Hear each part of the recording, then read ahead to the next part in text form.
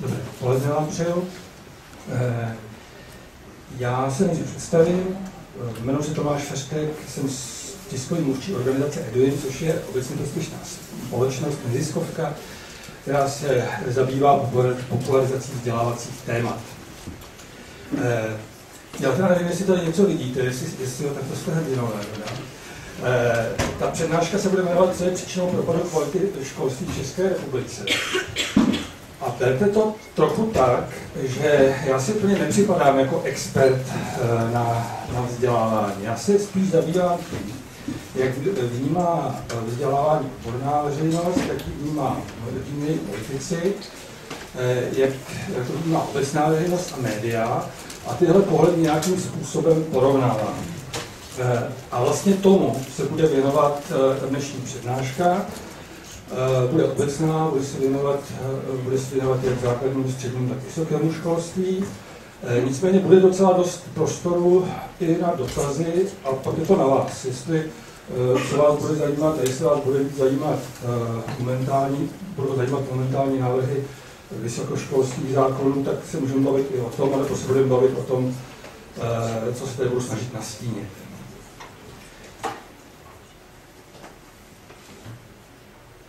Eh, já bych se snažil nějak jako úplně stručně pojmenovat, jak vnímám eh, veřejný názor na eh, kvalitu českého školství.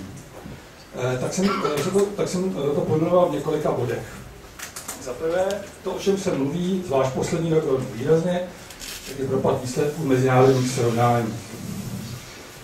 Potom to, co uslyšíte na každém rohu, je pokles kvality studentů středních a vysokých škol, ztráta motivace už u dětí na základních školách, to znamená, my patříme k zemím, kde, eh, kde motivace dětí už na základkách je vůbec jedna z nejvyšších vzdělávacích systémů. A nárůst agresivity dětí, a to už od mateřských škol. Já to beru tak, že, že jsem jako na vysoké škole, eh, kde vy máte teda daleko přímější zkušenost s vzdělávacím systémem než já, takže eh, čekám, že třeba něčem budete oponovat potom z toho, co říkám. Eh, a eh, nicméně myslím si, že tak, jak jsem to tady nasnil, tak to je obraz českého vzdělávání, tak, jak ho vidí většina novinářů a veřejnost, která se o vzdělávání příliš nezajímá. Zajímavé je, že, že velmi podobně to vidí politická scéna. Když se budete z politiky o tom, jak je, to, jak je na tom české vzdělávání, tak všichni vám uh, zopakují výsledky PISA a, uh, a zopakují v podstatě tyto čtyři body. A teďka uh, jsem se snažil z médií a z těch debat, kterých jsem nějakým způsobem účastný, a už je tady něco zbylo. Demotivace učitelů, kteří, kteří ze škol odcházejí ti nejlepší, tak ještě napsal. A potom, kde veřejnost vidí příčiny toho propadu. E, snížení nárok prakticky na všech stupních školách, na, na, na všech stupních škol. Nejčastěji uh, uslyšíte, a to i od učitelů, um, výhrady, že vlastně se školách dneska pořád neučí a že všichni by se chtěli jenom bavit. A potom, že máme příliš mnoho studentů, a to jak na středních, tak vysokých školách, tedy na středních školách s maturitou. Eh, velmi častý názor je, a to i u eh, praktikujících akademiků, to znamená lidí, kteří se pohybují, eh, pohybují a občas se učí na vysokých školách, že příliš mnoho reform a že těch změn je tolik, že nedáme vůbec možnost nějak rozumně se soustředit na učení. A potom samozřejmě to, o čem se mluví vždycky, a že nedostatek peněz na školství a proto ty nejlepší odchází. No a teďka jsem se snažil pomenovat, jak, jaké, jaké návrhy na řešení eh, veřejnost a, politi- a politici, jaké, co navrhují, aby se tahle situace zlepšila. Tak eh, obecně se mluví o tom, že by na školách mělo být přísněji. Eh, potom, že by se měly kontrolovat výsledky vzdělávání. Státní maturita už byla zavedena, máme za sebou první ročník a e, chystají se e, testy v pátých a devátých třídách na základních školách. To znamená, budeme v uzlových bodech ověřovat, e, jestli děti umějí to, co podle standardu vzdělávání mají umět. Další. přesunutí části populačního ročníku zpět na učební obory bez maturity. To znamená, říkáme, na učební obory s maturitou chodí u nás příliš mnoho studentů nebo příliš mnoho dětí a měli by se vrátit na učňáky, kde získají kvalifikaci, která jim lépe zajistí zaměstnání. A konečně máme i mnoho vysokoškoláků. V tom povolačním ročníku by jich mělo být daleko méně. Myslím, že ještě tam mám něco. A ještě něco. A samozřejmě měli bychom zvýšit procento HDP, které investujeme do vzdělávání. Já teda bych se zeptal, nevím, jestli jste na to zvyklí tady nebo ne, ale jestli dovolíte, tak eh, podívejte se na ta jednotlivá opatření. A já bych u každém z těch opatření nechala hlasovat, o čem si myslíte, že by českému vzdělávacímu eh, systému pomohlo. Abych to mohl nějak komparovat, jak to vypadá, jestli teda studenti vysokých škol to vidí podobně jako veřejnost a politici, nebo jestli to vidí jinak. Takže eh, bod jedna, eh, zvýšení eh, nároku a přísnosti na žáky základní škol. Ta, na tu základku ještě docela pamatujete, tak prosím, kdo se souhlasí s tímto opatřením, ať zvedne ruku. Dobře, můžu se vás zeptat, kdo nesouhlasí, abych... Tak, tak třetina, možná dvěma třetina. Děkuji pěkně. Eh, kontrola úrovně vzdělávání prostřednictvím plošných testů na základní škole a státní maturity. Zase, kdo souhlasí s tím opatřením, vidíte to, vy se, vy se tváří tak, jako že jste úplně nesouhlasíte s tou otázkou, tak já to, mám to rozdělit. Mám to rozdělit na maturitu a uh, testy. No, vy jste se tak tvářil. Já jsem spíš jako říkala, že je strašný problém, že ono třeba není špatný nápad, ale většině, jak to pak vypadá v reálu, tak je to tak nefungující, nefunkční, že to fakt jako to provedení je to špatná věc, že teoreticky by to bylo hezký, ale prakticky pak to těm dětem fakt nepřeju, když to přes vidím. To rozumím. Tenhle ten námitce rozumím, ale e, vy se budete muset, berte to tak, že jste politik a musíte se rozhodnout. Jo? A, musíte se, a, a víte, v jaké zemi žijete, to znamená, víte, jak to asi dopadne, kde budou nejspíš ty problémy, a musíte se rozhodnout, jestli to chcete nebo nechcete. Jo? Čili, ale jinak děkuji za připomínku, to je zcela na místě. Takže, kdo souhlasí s bodem dvě, jestli může zdvihnout ruku. Tak tady je to asi výrazná většina, děkuji pěkně. E, za třetí, přesunutí části populačního ročníku zpět na učební obory bez maturity, to znamená omezení počtu maturitních oborů. E, prosím zase, pokud někdo s tím souhlasí, aby zdvihl ruku. To už je vás o trošičku víc, minimálně třetina, děkuji pěkně.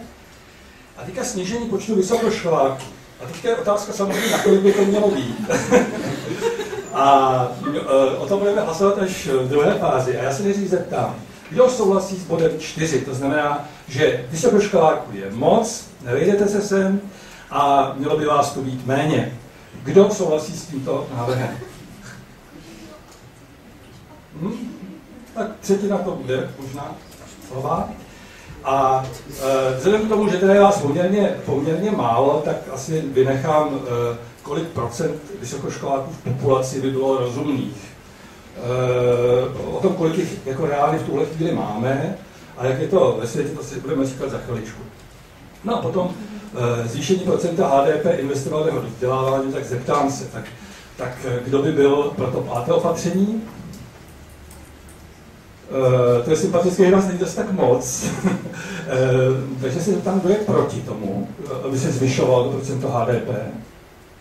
To zase ne, takže hodně lidí se zdrželo. Dobře, tak jo, děkuji pěkně. A e, takže to jsou možnosti nápravy.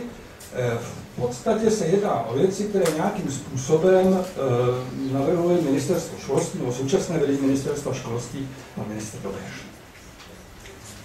Tak a teďka uh, já se vrátím zpátky, jak se omlouvám tedy za, uh, za, za, za ty divné znaky, ale uh, doma jsem je tam neměl.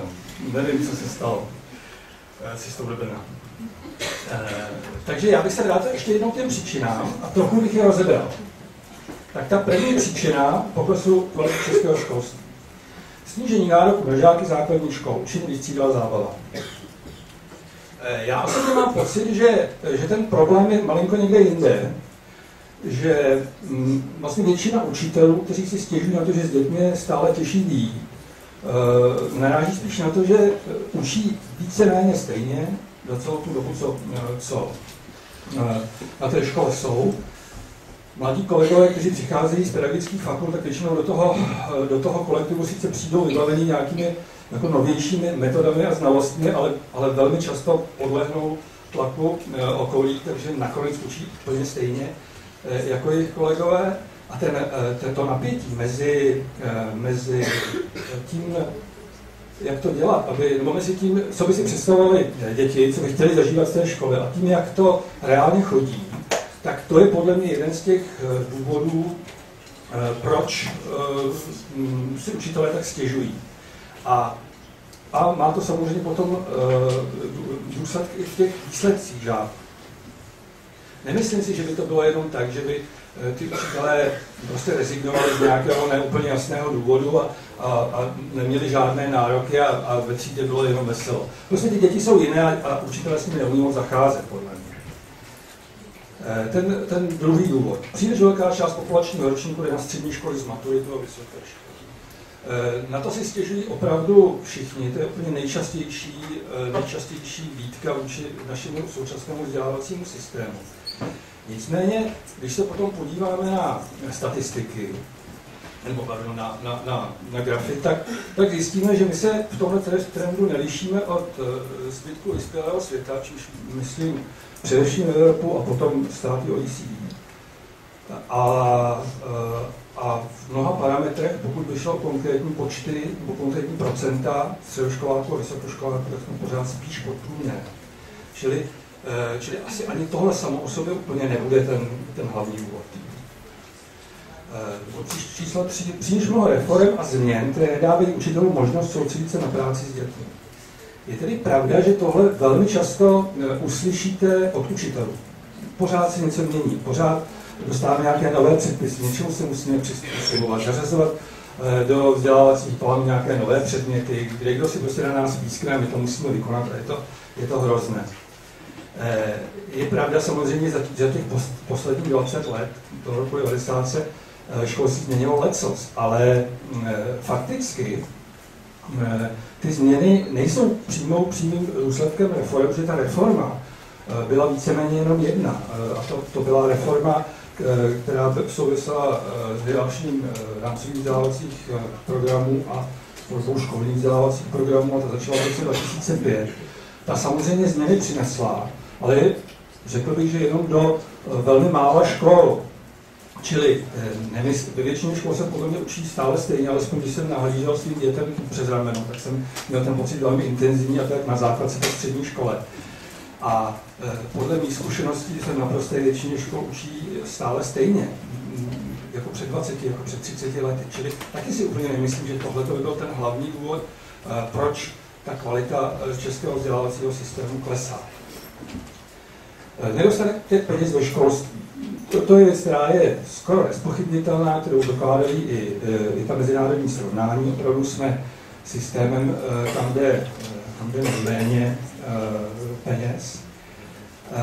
Na druhou stranu já namítám, že v tom dnešním systému se, a především z iniciativy ředitelů a těch základních nebo středních škol, některých konkrétních, tak existují školy, které dělají tu práci velmi dobře že jste vysoké školy, tak předpokládám, že mnozí z vás nějakou takovou školu zažili.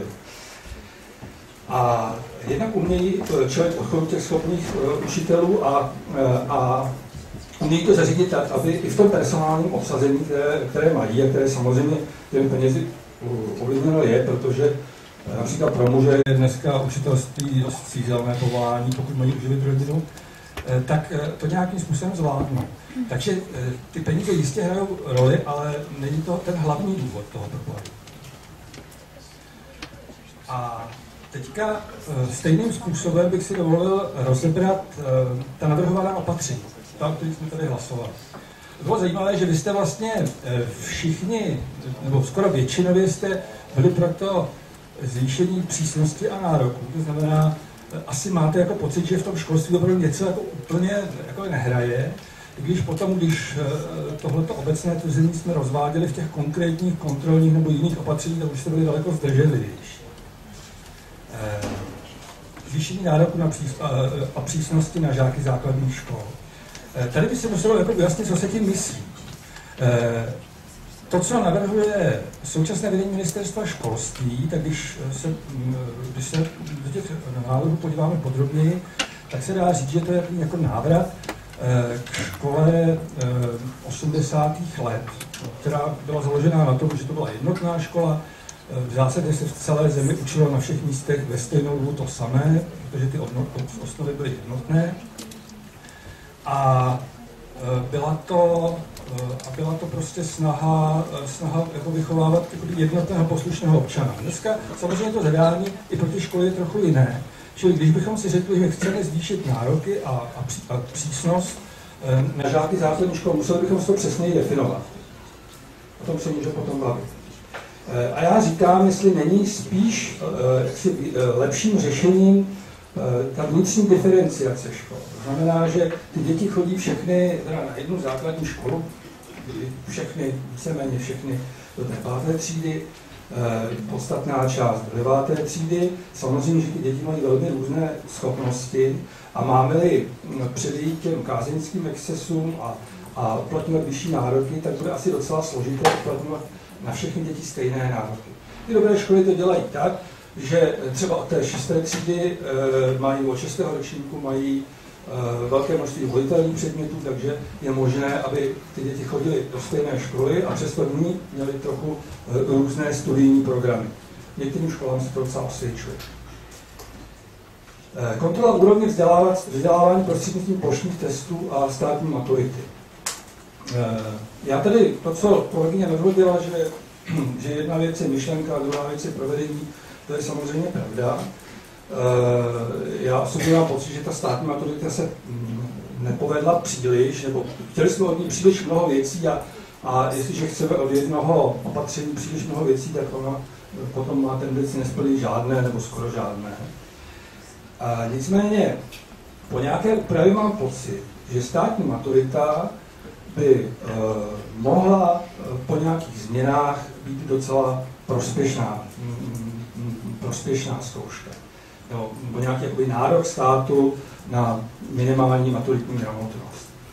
E, musím ale říct, že pokud je připravované plošné testování na základních školách, tam by byl daleko kritičtější, protože tady je dlouholetá zkušenost ze zemí, kde nějaké podobné testování měly, ať už teda plošné nebo výběrové.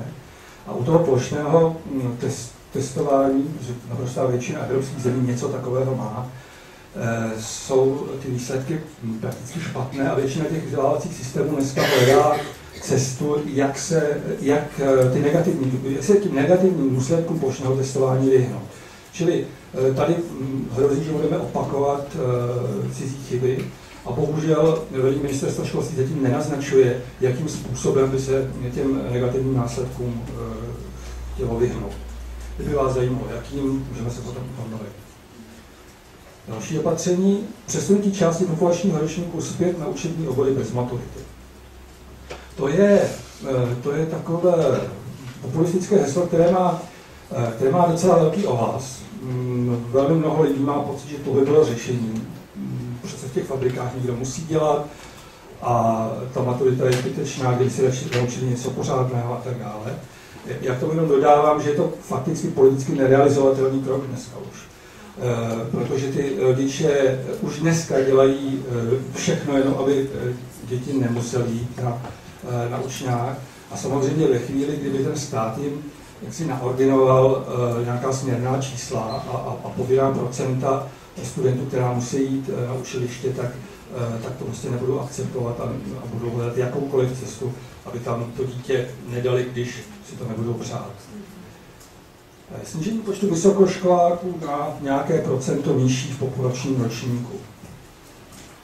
Eh, já se jenom tak jako zeptám, eh, a teď jako volně, kolik si myslíte, že z populačního ročníku odchází studentů na vysoké školy?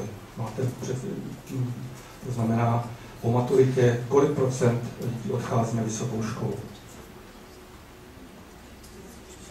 Jako, je, to, je to taková jako saska, jo? můžete říct cokoliv. Prostě máte nějakou představu, že nějaké číslo je správně, tak, tak ho řekněte na hlas. Když nahlas, tak musíte nahlas. Jestli mi něco říkáte, tak já to neslyším pořád. 40? 40 si myslíte. Jo? Tak teďka výborně, děkuji. Kdo si myslí, že víc? Vy si myslíte, že víc? Kdo si myslí, že míň? Výborně. Eh, děkuju.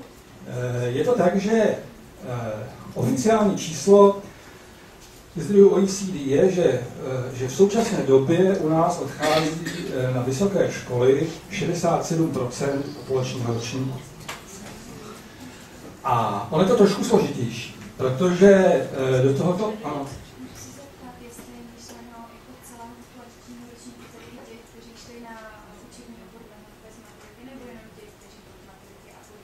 Ne, ne, ne, eh, celý, celý populační ročník. To znamená, těm, kterým je 18, tak kolik z nich odchází na vysokou školu. Tak odchází 67%. To číslo není úplně přesné, protože uh, ono se do toho započítávají, započítávají i ti lidé, kteří uh, mezi tím byli zahraničí nebo pracovali a nastupují na nějaké studium později nebo, nebo uh, jdou do druhého vzdělávacího programu vysokoškolského. Takže to číslo po nějakém očištění od těch nepřesností se pohybuje někde mezi těma 50 a dejme tomu 65 eh. Ale to, jako, když se to takhle řekne, je to vlastně docela dost. Eh, no, eh, nicméně i, i, i tak platí, že patříme k zemím evropským s nejnižším počtem vysokoškolských vzdělaných občanů to je ale samozřejmě způsobeno hodně, hodně tím, že do roku 90 mm, e, byl e, u nás počet vysokoškolských vzdělaných lidí extrémně nízký. Takže i když teďka e, ten nárůst lidí, kteří odchází na vysokou školu, je, je opravdu razantní, tak on taky ne každý tu vysokou školu dokončí. Takže, takže to číslo, to, to procento lidí s vysokoškolským vzděláním v populaci, i když je to už 20 let od, od toho roku 90, tak se zvyšuje poměrně pomalu. Ale když se podíváte do eh, tzv. polonské smlouvy, nebo polonské která se zabývá, eh, která se zabývá vysokoškolským terciárním vzděláváním, přesně vysokoškolským a terciárním, tak tam se předpokládá, že dlouhodobě v Evropské unii budou mít dvě třetiny obyvatel nějakou formu terciárního vzdělávání. To znamená eh, vyšší odbornou školu, bakalářský stupeň, magisterský něco, něco ještě jiného. E, to znamená zase, um, pokud bychom se rozhodli, že, že budeme snižovat počet vysokoškoláků, tak uh, jdeme vlastně proti uh, těm trendům, které jsou v Evropě a ve vyspělém světě obvyklé. A za páté, zvýšit procento HDP investované do vzdělávání. To je jedna z mála věcí, kde já alespoň bych souhlasil, když jste byli jako vstřídnější v té věci, ale uh, alespoň tak, jak sleduju uh, politickou scénu a když se, když se podíváme na ty grafy, tak jak se to vyvíjelo v posledních uh, desetiletí, dvou, tak si myslím, že to při současné ekonomické situaci vlastně není reálné. Čili to je, to je něco, co by možná pomohlo, ale nedá se s tím počítat. Teďka než uh, přistoupím k další části té přednášky, tak bych si dovolil uh, tady ukázat několik, uh, několik grafů, ze kterých jsem vyvozoval to, co jsem před chvíličkou říkal, když jsem kriticky komentoval ty, ty jednotlivé věci. Tadyhle většina, většina těch grafů, které vám budu ukazovat, pochází z mezinárodní studie Education at a Glance, která je z roku 2010 a 2011 a e, to je studie, která, která zkoumá e, vzdělávací systémy v zemích OECD. A e, u nás je samozřejmě tahle studie v roce 2011 vyšla přímo pro české školství.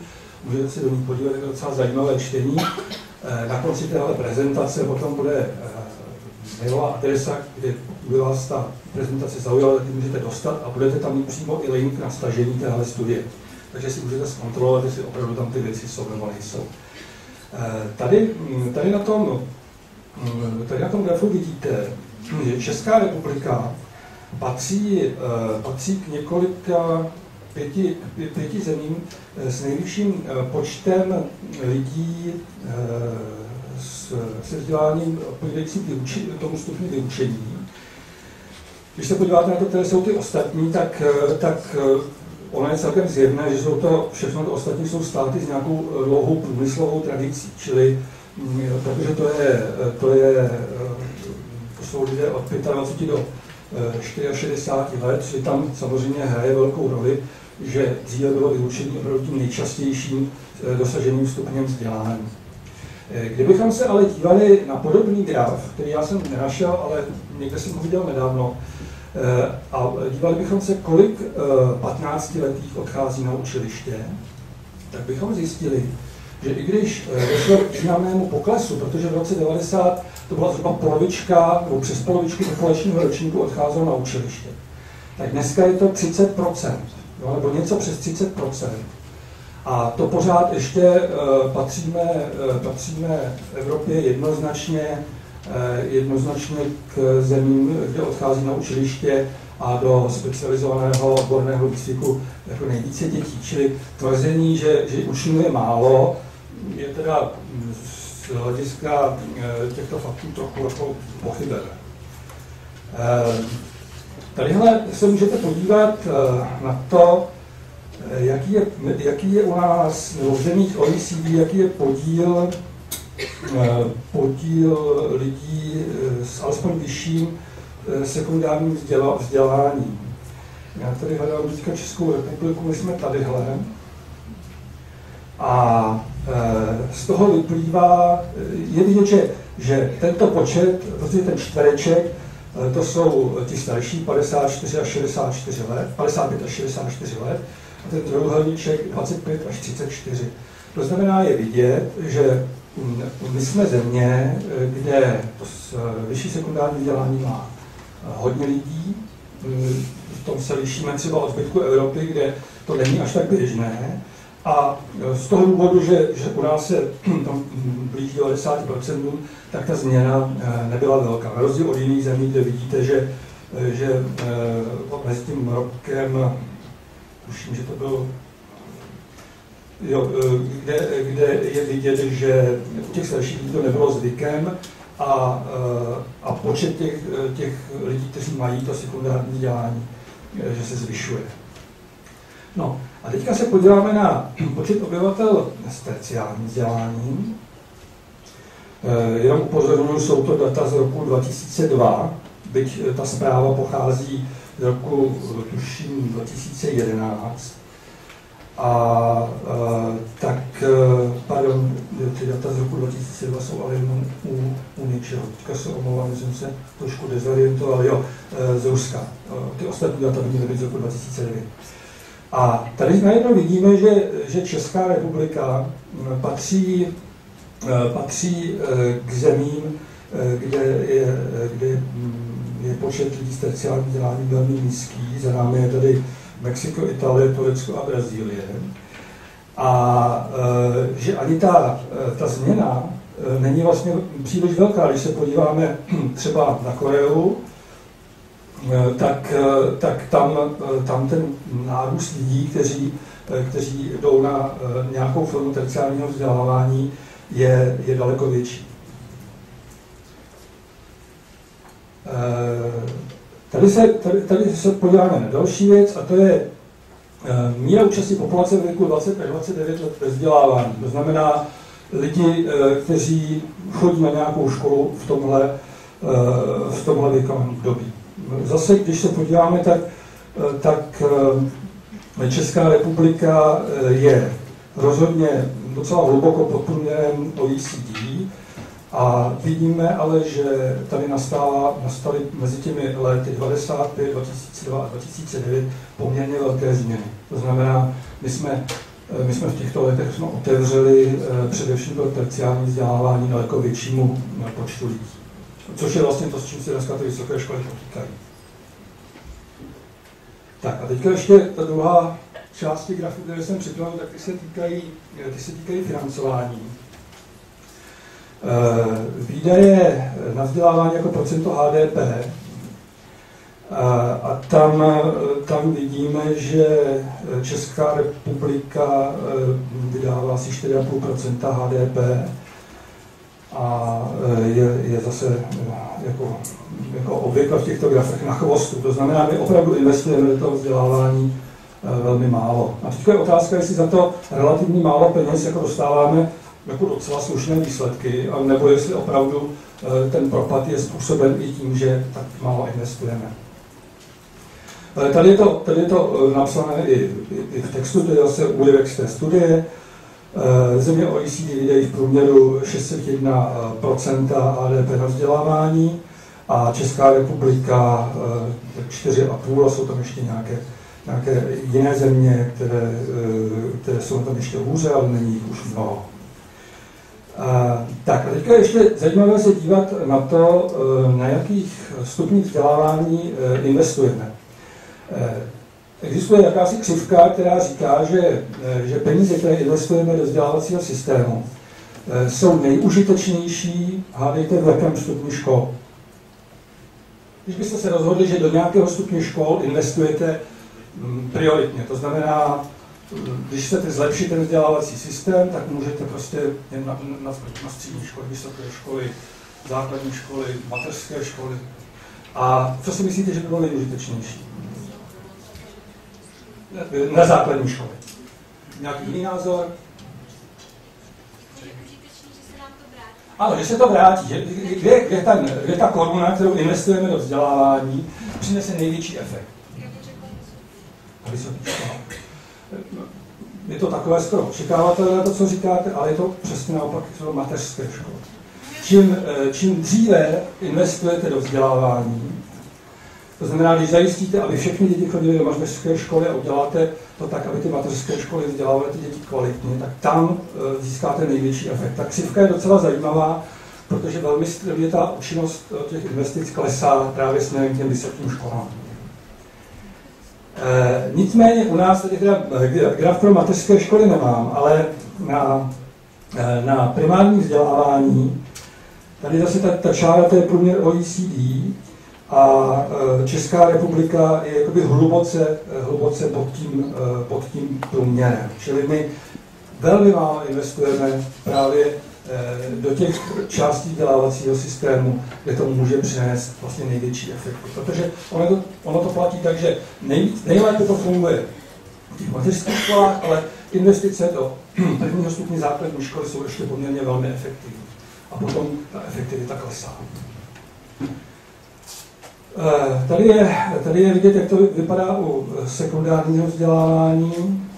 Eh, jenom abyste si, abych teďka vysvětlil, proč Česká republika je eh, na tom místě, které je čili zařazená až do konce, na konci, tak je to proto, že prostě řazení těch zemí to je právě podle investic v tom primárním vzdělávání. Ale ten graf ukazuje něco jiného. Tady se ukazuje, že, že do sekundárního vzdělávání investujeme Eh, o něco více, nicméně pořád jsme výrazně pod průměrem OECD. A eh, terciální vzdělávání eh, Česká republika zase hluboce pod průměrem OECD, i když, já nevím, nějaké tři, čtyři státy, kde je to horší, bychom, bychom našli. To znamená, prostě ta, ta argumentace, že bychom měli do našeho vzdělávacího systému investovat více, tak to je asi argument nespochybnitelný. Samozřejmě je otázka, jak vypadá ten systém a jestli má smysl do něj investovat, protože je otázka, jestli když do něj investujeme, tak jestli to bude efektivně, jestli dostaneme něco zajímavého. Tak. Takže tady já jsem, eh, já jsem na těch grafech chtěl trochu jakoby zdůvodnit to, co jsem tvrdil. To znamená, že si nemyslím, že by nám mohlo Eh, že by nám mohlo pomoci snížení počtu všeobecných vzdělávacích předmětů, přesun dětí na učňáky, snížení počtu vysokoškoláků a plošné testování. A, a tím jsem se snažil tak trochu spochybnit i ty obecné, obecně zavedené představy o příčinách propadu českého vzdělávacího systému. No abych jenom nekritizoval, tak ještě na závěr tady předvedu Eh, další možné eh, příčiny eh, toho propadu. Z čeho jsem vycházel? Vycházím vlastně jednak z mezinárodních srovnání, ze studií, které, které dělal někdo o vzdělávacím systému České republice, teďka nejčerstvěji je to studie OECD o, o hodnocení, která byla publikována na konci ledna a teďka se o ní docela diskutuje. A z různých odborných debat. A tam se, tam se nejčastěji říká, že ten, ten důvod mm, toho, toho propadu je, je vlastně velmi jednoduchý. Svět se velmi rychle mění a ta škola, zvla, škola obecně, je velmi jaksi konzervativní systém, česká škola o to víc. A ta zůstala po desetiletí stejná, to znamená, e, není schopná vlastně plnit ty úkoly, které před ní ten svět staví. E, předčasné dělení dětí na schopné a méně schopné podle nejrůznějších parametrů. Sportovní třídy, jazykové školy, e, více, víceletá gymnázia.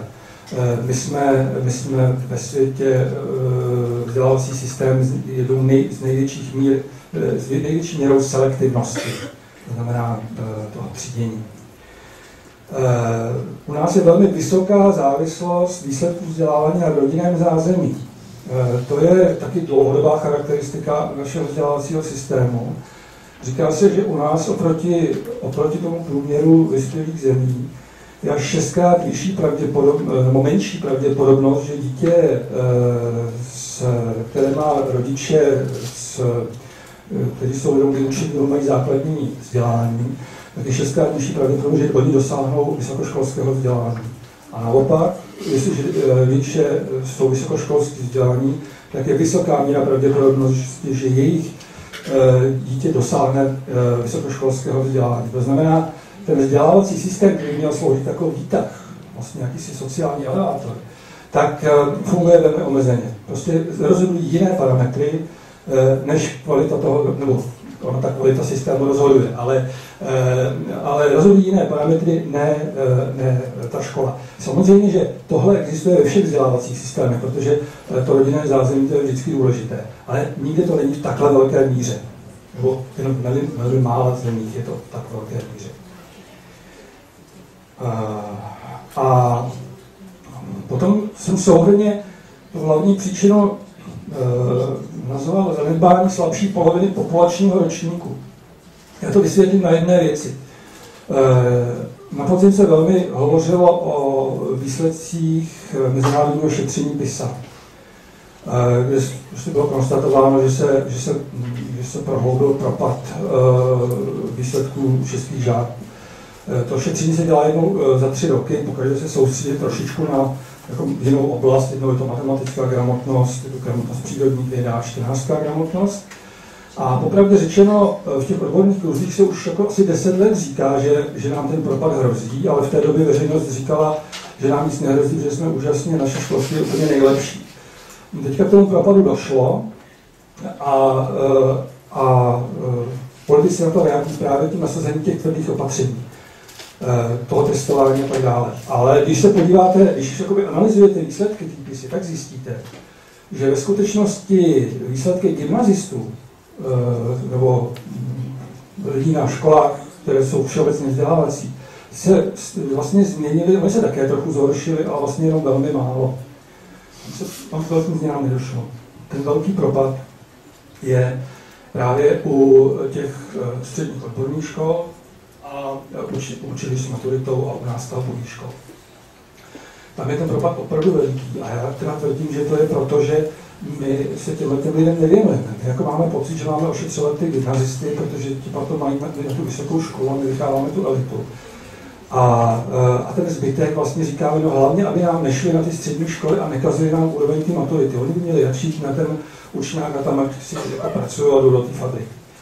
Eh, to je docela sdílený obecný názor, jenže eh, ta mezinárodní šetření úplně kašlou na to, jestli, my si leštíme tu maturitu nebo neleštíme. Oni otestují ty 15 leté všechny, vždycky. Bez ohledu na to, jakou budou školu nebo nejdou, to je nezajímá. A to znamená, my ve chvíli, kdy eh, ty, tu, tu slabší polovinu ročníku odstavíme, rozstřídíme, rozstřídíme ty, ty lepší na ty gymnázia, v té, do té devítiletce bude taková ta tzv. zbytková třída, se kterou je opravdu těžko vít a je docela těžké něco naučit. A ještě jim řekneme, no vy stejně jako budete ty průmyslovky a naučňáky, no tak tím je akorát demotivujeme a jejich výsledky se ještě zhorší. To znamená, eh, ta selektivnost toho systému ty výsledky jenom zhoršuje.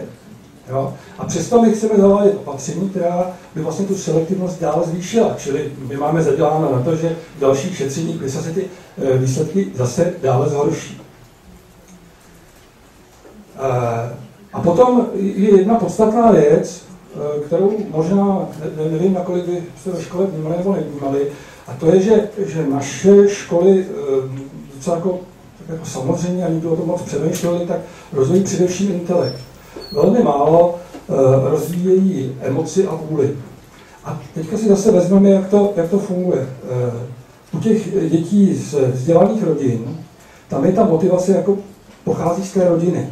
Eh, ty děti jsou od malička vychovávané k tomu, aby něčeho dosahovali, aby měli nějaký cíl. A přijdou do školy, a přijdou teda tam i s těma z těch rodin, kde zrovna tenhle ten duch jako nevládne, ale ta škola se zabývá jenom jejich intelektem. To znamená, oni se snaží něco naučit, ale nezabývají se tím, co ty děti cítí a nerozvíjejí volné vlastnosti, tedy aby začali e, něco sami chtít.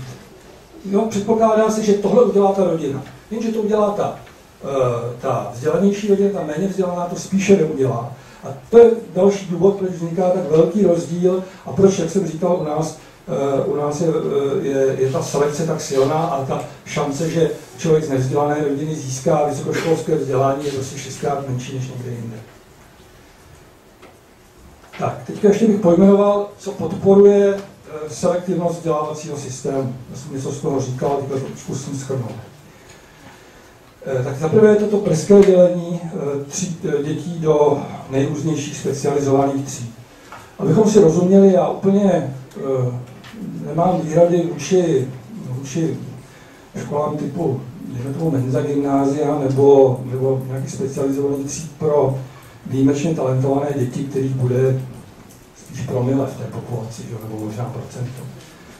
Eh, já si myslím, že, že takové děti vyčlenit do jiné třídy, že i tam to má nějaké problémy, ale, ale lecky tomu rozumím. Vzniká, jako rozumím tomu, proč takové školy vznikají a chápu rodiče, že se tam snaží to dítě dostat, protože v tom běžném vzdělávacím systému opravdu naráží na spoustu problémů. Ale co teda považuji za, za velmi problematické, tak, eh, tak jsou právě ty jazykové školy, sportovní, nejrůznější výběrové školy a prostě víceletá gymnázia, která jsme zavedli začátkem 90. let, byl z hlediska vzdělávací politiky bohužel chybný krok, když chápu, že tady sedí spousta absolventů e, víceletých gymnází, kterým se na té škole líbilo. A já to nějak jako tomu neoponuju. Nicméně, e, nicméně důsledky, důsledky tohoto opatření pro vzdělávací systém jako takový jsou mm, bohužel velmi negativní. Podpora dobrých studentů, odsunutí těch špatných mimo vzdělávací proud hlavní. To, o tom jsme už mluvili. Prostě my se věnujeme v té škole a podporujeme ty, ty dobré a ti, špatní eh, nám přijde jako zbytek, který si tu péči nezaslouží.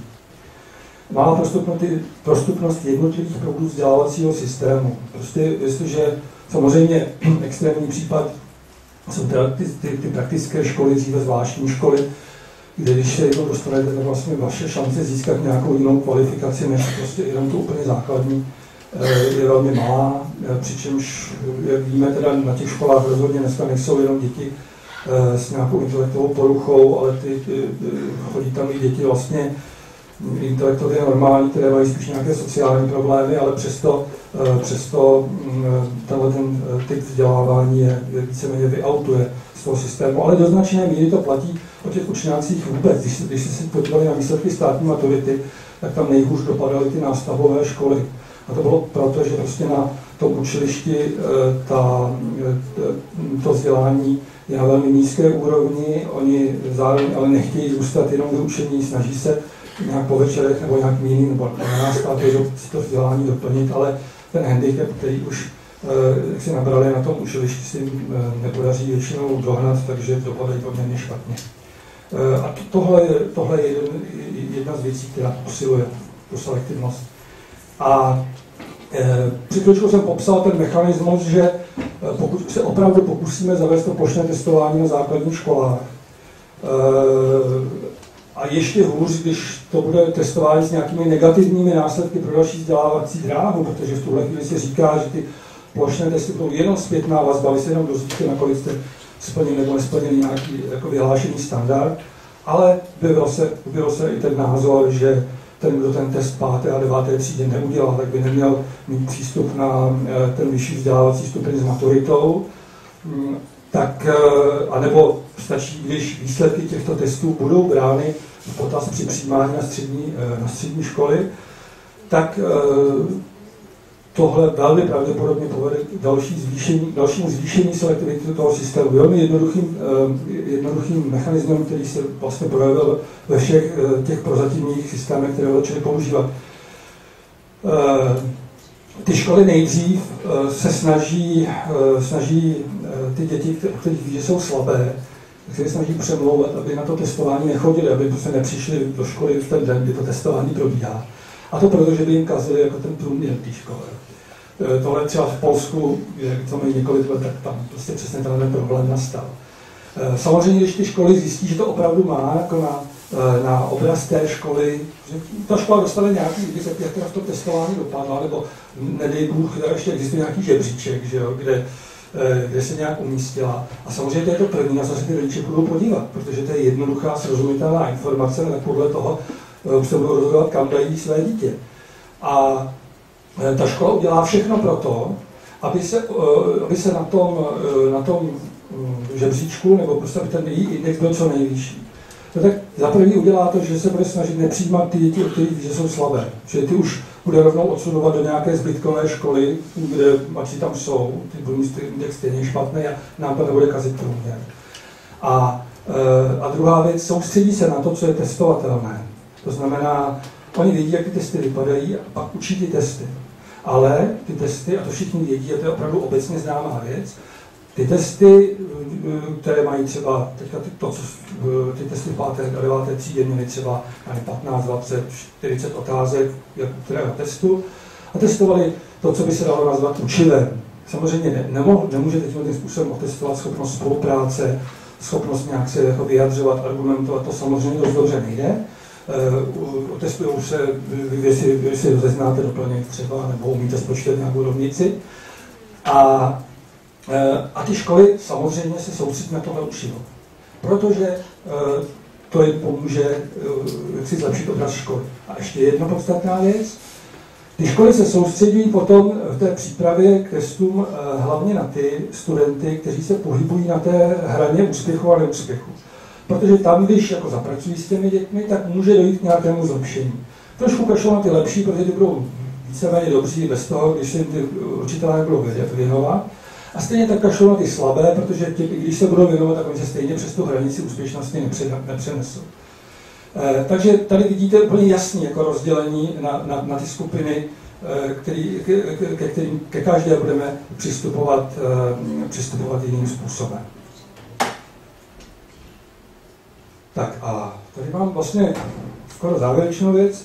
Když jsem tady popsal, e, proč si myslím, že ty příčiny, které vidí veřejnost, Eh, příčiny propadu vzdělávacího systému, proč si myslím, že nejsou úplně na místě a navrhnu jsem nějaké jiné, proč si myslím, že eh, jaké jsou teda ty příčiny, proč ten vzdělávací systém moc nefunguje nebo funguje omezeně. Tak tady na konci eh, navrhnu několik věcí, které by tomu vzdělávacímu systému mohly pomoci. A zase vycházím, a vycházím třeba teďka hodně z té studie OECD, která, eh, která byla publikována jako stažený v angličtině na stránkách České školní inspekce. A eh, český překlad bude hotový asi za týden. A, a tam, eh, tam, můžete, tam si můžete vlastně spoustu těch věcí, věcí přečíst. Já to schronu takto.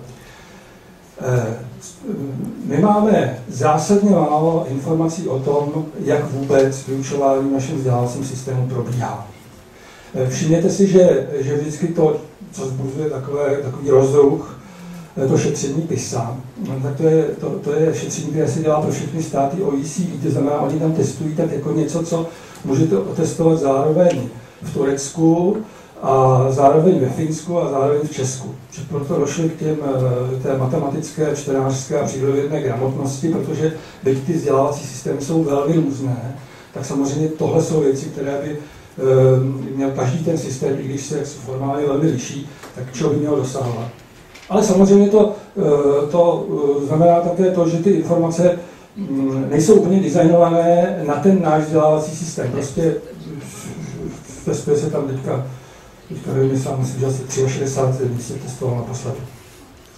A my bychom potřebovali to, co je šetření PISA, tak eh, taková podobná výběrová šetření dělat u nás, abychom měli informace o tom, jak se vůbec děti učí, co umí a případně co s tím dělat. A teďka jenom, uh, jenom se zeptám, teda, tady používám uh, termín jako plošný test a výběrové šetření. Kdo si myslí sám o sobě, že ví, jaký je mezi tím rozdíl? Jestli by se mohl přihlásit. Pedagožka to ví. Eh, tak to je typická, typická lektorová chyba, tohle. eh, tak to se omlouvám.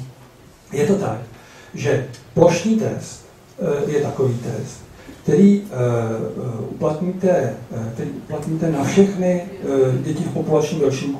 Je to stejný, většinou to tak, je to opravdu stejný test a vyplní ho všechny děti v tom populačním ročníku výběrové šetření. To znamená, pardon, ještě řeknu, co z toho vyplývá. Vyplývá z toho, že ten test musí být poměrně jednoduchý, aby se vůbec dal vyhodnotit, protože vyhodnocujete uh, řádově nějakých asi 100 000 dětí u nás.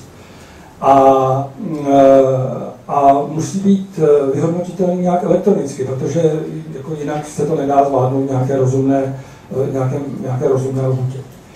Eh, a to také znamená, že můžete, eh, že můžete tím plošným testem ověřovat opravdu jenom nějaké jednoduché věci, protože ty složitější eh, to nezvládnete. A výběrové šetření, to je, to je způsob ověřování výsledků vzdělávání, kdy to děláte na nějaké jako sociologicky vybrané skupině. Jo? To znamená, neděláte to na všech, ale vyberete si, třeba to šetření PISA se dělá, teďka nevím, myslím, že to je asi 100 škol, kam chodí 15 letí a je to a je to vzorek, který se sestavuje tak, aby, aby eh, to bylo v různých krajích, protože samozřejmě regionálně se ty výsledky vzdělávání hodně liší eh, a aby tam bylo, byla zastoupená eh, i sociologicky co nejširší spektrum té populace.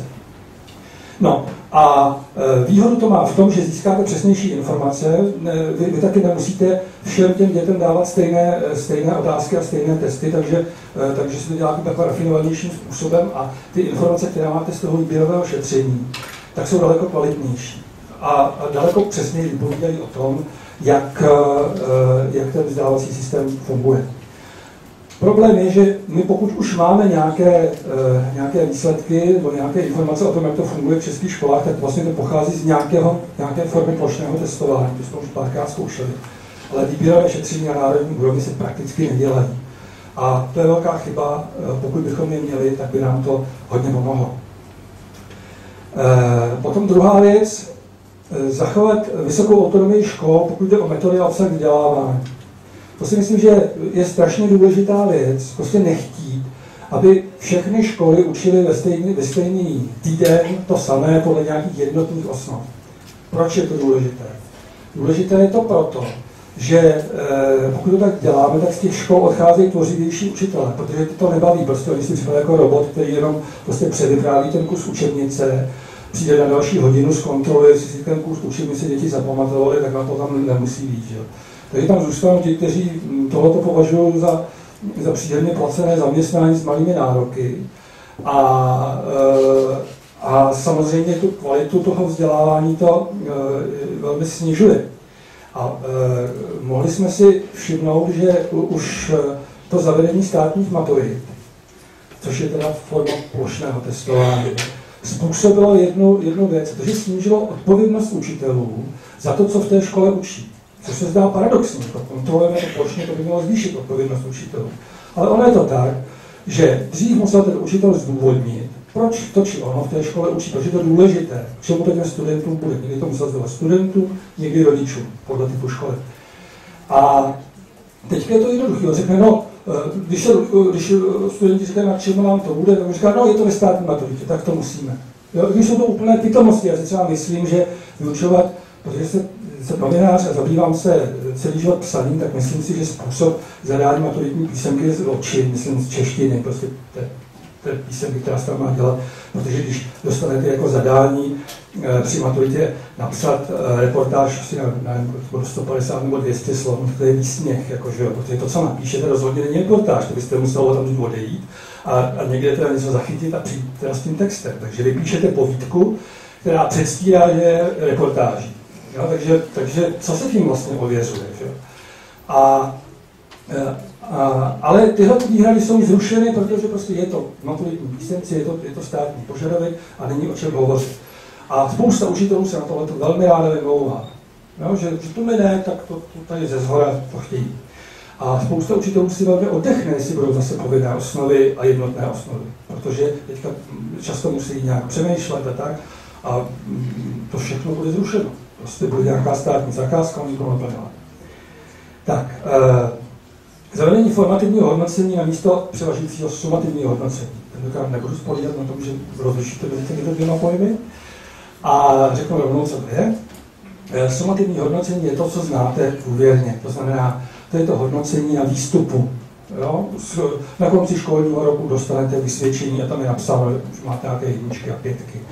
Eh, na konci středoškolského studia je ta, ta maturita ta nějak zhodnotí, co, co jste jako dokázali.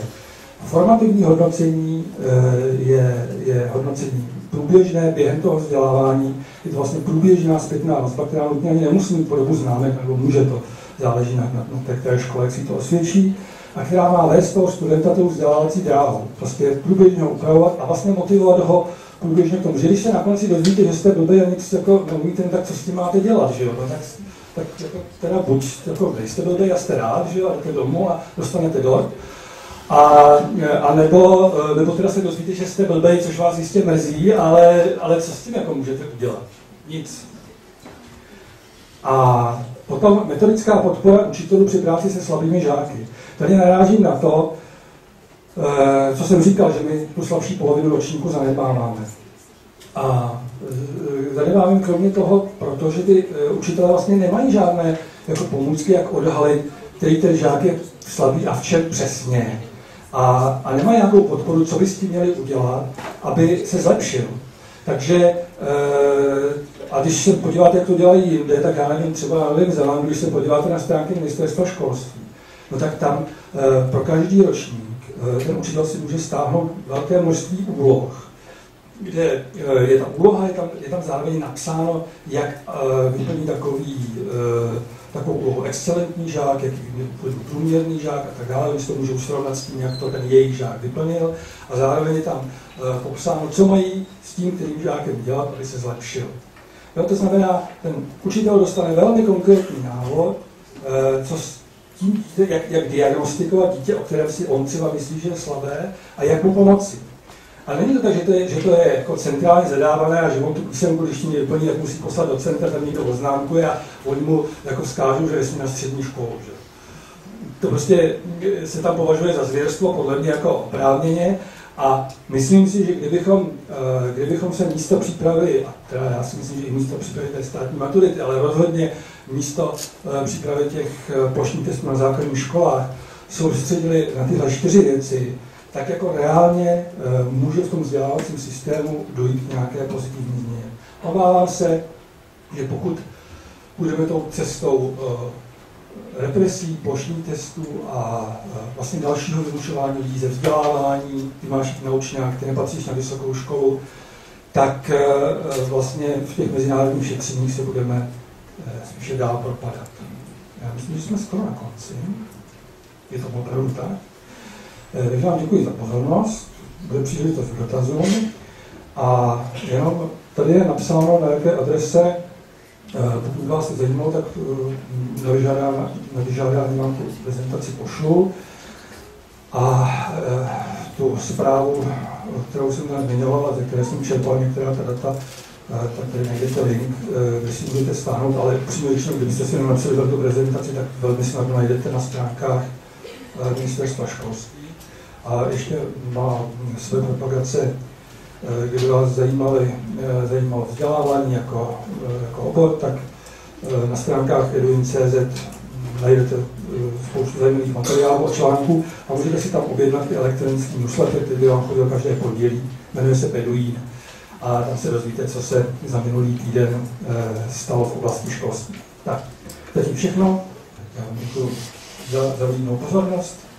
Mějte se hezky.